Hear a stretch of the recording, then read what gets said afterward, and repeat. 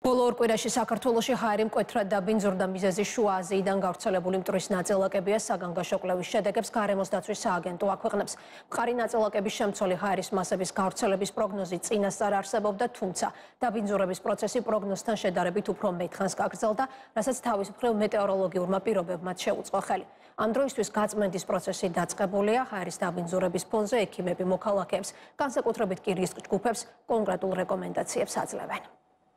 ბოლო რამდენიმე დღეა ქვეყანაში ჰაერის ტრანსასაზღვრო დაბინძურება ფიქსირდება. პერიოდულად შეუერაღებელი თვალითაც კარგად ჩანს ატმოსფერული ჰაერის დაბინძურება როგორც დედაქალაქში, ასევე საქართველოს სხვადასხვა რეგიონში. როგორც სპეციალისტები ამბობენ, ჰაერის დაბინძურება ცენტრალური აზიიდან, ყარაყუმის უდაბნოდან მტრის მასების გავრცელებას უკავშირდება. დედაქალაქში მყარი ნაწილაკების მატება რამდენიმე დღის განმავლობაში გაგრძელდა და როგორც გარემოს დაცვის სააგენტოში აცხადებენ, ცენტრალური აზიიდან შემოსული მტრის მასების გავრცელება ამ ეტაპზე დასრულებულია. გარემოს დაცვის და სოფლის მეურნეობის სამინისტრო ქვეყანაში ჰაერის ხარისხის მონიტორინგს ავტომატური სადგურების საშუალებით მუდმივად აწარმოებს და პროცესს უწყვეტ რეჟიმში აკვირდება. მომატებული იყო მყარი ნაწილაკების ორი ფრაქცია PM10 და PM2 მათი შემცველობა ჰაერში, რაც უკავშირდებოდა ტრანსსასაზღვრო დაბინძურებას. კერძოდ ეს იყო საქართველოს ტერიტორიაზე სამხრეთ-აღმოსავლეთიდან უდაბნოს ტრის მასების გადმოტანით და სწორედ ამან გამოიწვია ამ კონცენტრაციების მატება.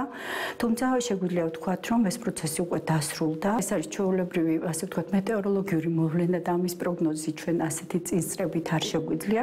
ზოგადად შემიძლია ვთქვა, რომ ეს მოვლენები პერიოდულად საქართველოს გეოგრაფიული მდებარეობიდან გამომდინარე ფიქსირდება.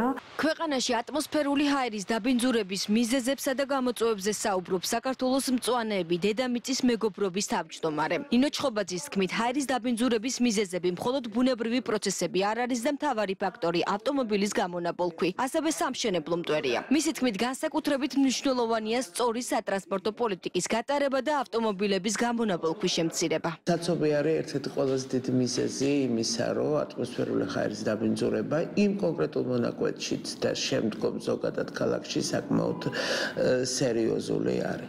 აქედან გამომდინარე, ვამბობთ, რომ იმისთვის, რომ შერბილდეს და უკეთესი გახდეს ქალაქის ქალაქი ქალაქის და საერთოდ урბანული დასახლებების ატმოსფერული ჰაერი მნიშვნელოვანია რომ იყოს შექმნილი სატრანსპორტო პოლიტიკები, იყოს გამკაცრებული საკითხები საწვავთან დაკავშირებით როგორ მოქმედებს ადამიანის ჯანმრთელობაზე მტრის ნაწილაკები და ავტომობილის გამონაბოლქში არსებული ნივთიერებები. მედიკოსების განმარტებით ამ კუთხით განსაკუთრებულ რისკ ჯგუფებს ბავშვები, ხანდაზმული ადამიანები და ქრონიკული დაავადების მქონე პირები წარმოადგენენ. ექიმების თქმით, მტრის მყარმა ნაწილაკმა შესაძლებელია გამოიწვიოს ფილტვის დაზიანება, თვალის გაღიზიანება, ბრონქიტი და სხვა დაავადებები. ასევე შესაძლოა ეს გახდეს სიმსივნის მაპროუცირებელი ფაქტორიც. სწორედ ამიტომ სპეციალისტები მოსახლეობას მოუწოდებენ იმ შემთხვევაში თუ შეამჩნევენ რომ ჰაერის დაბინძურების დონე განსაკუთრებით მაღალია, პირბადე გამოიყენონ. ზოგადად კი მათი თქმით, აუცილებელია ქვეყანაში სულ უფრო მეტად ახალისდეს ეკოლოგიურად სუფთა ტრანსპორტის გამოყენება და ასევე ადამიანებმა გაითავისონ ცხოვრების ჯანსაღი წესის მნიშვნელობა, რაც მოიცავს როგორც ჯანსაღყვებას, ისე ფიზიკურ აქტივობას.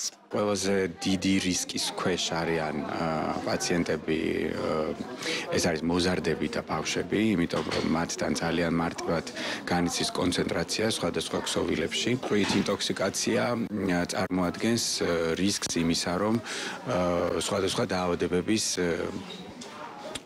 რისკი შეუქმნას პაციენტებს, როგორც არის მაგალითად სიმსივნური, ონკოლოგიური დაავადებები, ეს არის ჰემატოლოგიური სისხლის სიმსივნური დაავადებები, ლეიკემიაზე მაქვს საუბარი, თუმცა შესაძლებელია სხვა ორგანოების სიმსივნეების პროვოცირებაც გამოიწვიოს. ტრანსასაზღვრო დაბინძურების წლის განმავლობაში ათეულობით შემთხვევა ფიქსირდება. ტრანსასაზღვრო დაბინძურების გარდა საქართველოსთვის მყარი ნაწილაკების მნიშვნელოვანი წყაროა სამშენებლო პროცესები, შეშიზღუმელები, დიზელის ძრავები ქვანახშირზე მომუშავეთ ფოელექტროსადგურები და ქარის მიერ მიმოფანტული მტვერი. სპეციალისტები პრობლემის გადაჭრის გზად ამ კუთხით სამშენებლო და სატრანსპორტო რეგულაციების კიდევ უფრო გამკაცრებას განიხილავენ.